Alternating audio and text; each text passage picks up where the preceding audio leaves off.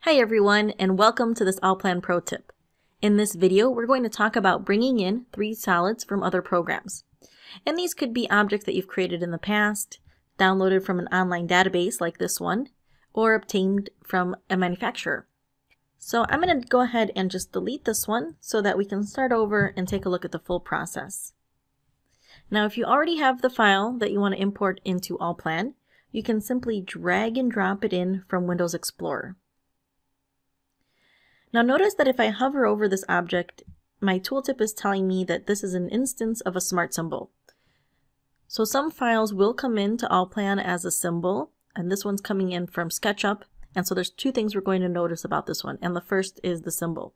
In order to work with it in Allplan, the first thing we need to do is unlink the symbol. So I'm going to right click on the object here, and I'm going to select Unlink Smart Symbol. Now I'm going to choose the second option since there's two of them. And here in the Unlink Smart Symbol Properties dialog, I need to make sure that I change this to fully. Now I'm going to right click to confirm, and then I can simply escape out of the command. Now if I hover over my object, notice that it says it's a 3D surface. So this is the second item that we need to pay attention to depending on what file type is brought into Allplan. So since it's a 3D surface, it's not going to have any volume information. I can easily turn this into a 3D solid by using our Boolean operations. So the first thing I'm going to do is create a box. So I'm just going to use the box command in Allplan. And I can simply draw my box encompassing the entire structure. So make sure that the box fully encloses your structure. Now I can use the create volume from intersection command. Select first the box, then draw a window around your structure to make sure that you select all parts of it. Right click to confirm, and now I have my 3D object. And if I hover over this, I can see the tooltip indicating that it's a 3D object. And I can also right click on this object, take a look at its properties, and you can see that it does have volume information. So you can now use this to calculate a weight, you can put this into your reports, into tables on your drawings, you can use it any way that you need to. So now let's take a look at a second option and we're going to bring in a file from a manufacturer. Now a lot of manufacturers actually still have their objects in older drafting programs and so you might see a step file extension or an IGS file extension, and you may need to go ahead and convert those from those file formats to one that Allplan can take in.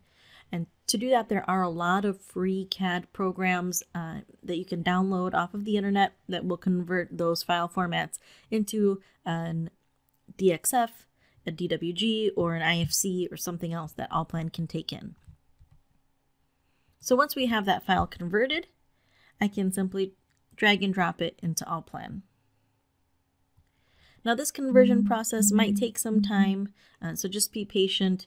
There is a lot going on in the background to take it from that older solid program that was converted to a, a DXF or DWG, and that's now being converted to Allplan.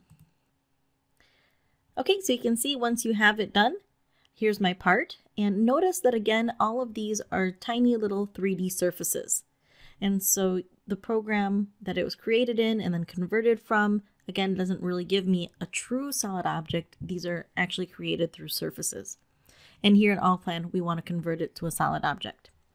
Now in this case, this creates a lot of tiny little 3D surfaces, and sometimes that can be difficult for the program to convert into a solid using our Boolean operations.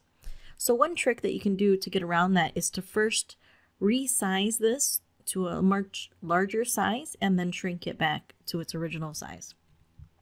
So I'm going to use the resize tool. I'm going to leave this as a factor and I'm going to draw a window over my entire object. Now I'm going to just click somewhere to define the reference point and then factor it by a very large size. So I'm going to say a thousand and do that in every direction, X, Y, and Z. So you can see now that's much bigger. And now I'm ready to repeat the same steps that we saw before in creating my box. So I'm going to select the box command This time I'm going to use my elevation view to set my z coordinate and then use my plan view to draw my box around the object.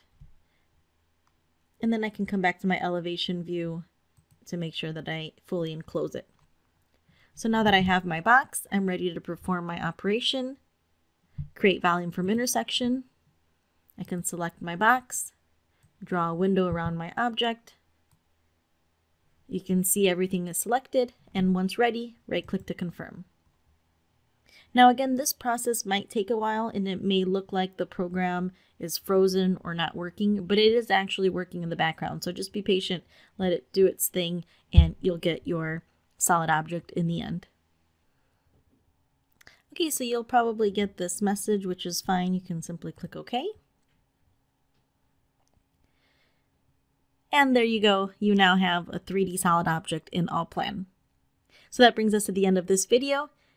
Thank you very much and enjoy working in Allplan.